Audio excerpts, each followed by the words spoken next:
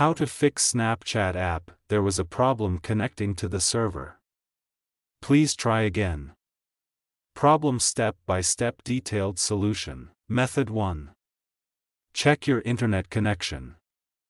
Make sure that you have a strong and stable internet connection. You can do this by trying to access other websites or apps on your device. If you are not able to connect to the internet, try restarting your router or modem. Method 2. Restart your phone. This can often fix minor software glitches that may be causing the problem. Method 3.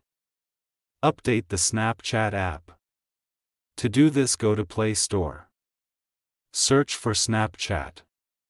Go to Snapchat.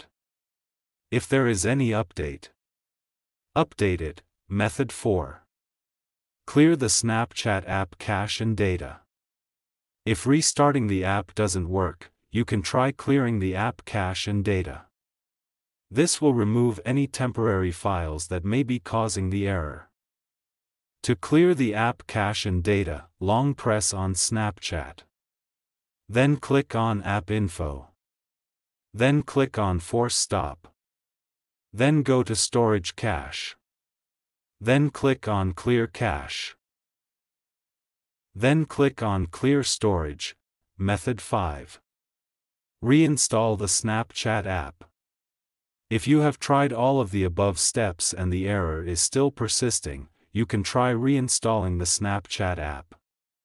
This will remove the app completely and then install it again from the App Store.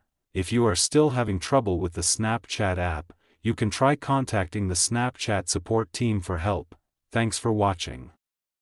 Please like the video. Subscribe to Techsore.